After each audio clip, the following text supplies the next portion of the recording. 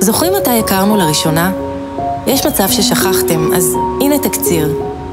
בהתחלה רק בודדים מכם התעניינו בי. בכל זאת, אני מודה, אני סטארט-אפ מהפכני. אבל אז הגיעה הפריצה הגדולה שלי. קיבלתי שם נרדף. מתנה.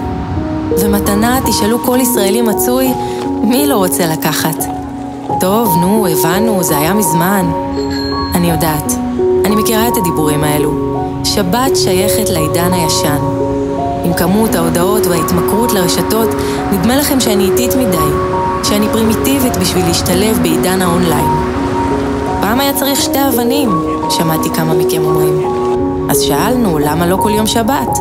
אבל היום, היום זה מסך מגע, אז שבי בשקט. אני רק שאלה, תגידו, זה רציני? באמת, אני הבעיה? תרימו לרגע את הראש מהמסך, מבטיחה לכם, תגלו שאני הכי עכשווית. אני לא הבעיה, חבר'ה. אני הפתרון.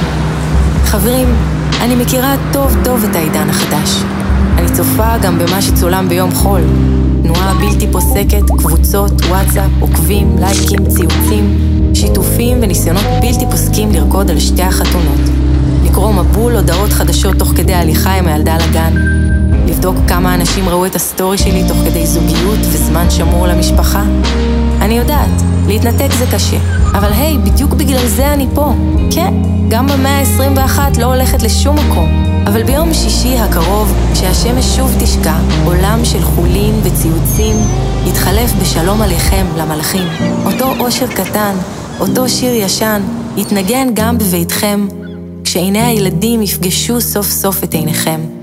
אני אהיה שם, מחכה לכם. שבת. שלום.